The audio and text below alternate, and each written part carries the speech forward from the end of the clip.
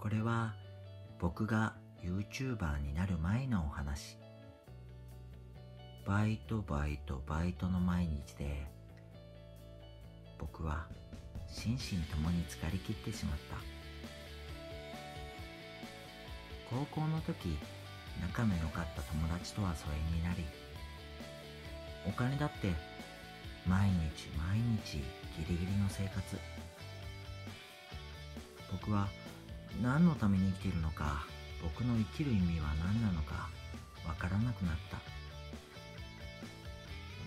そんな時あの人に出会った。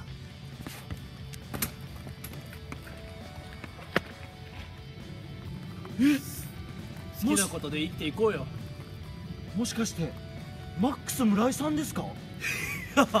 違うよ。え？いると思うここに。あ村井が。いやいやいないいと私は違うからね。いやいやそうですけどそうです。マックスうざいだよ。いや誰だよ うざいだよ。誰だよちょやめろよ。私はうざいだからね。来んなよお前もうマジで。村井は嫌だよ。いやうざい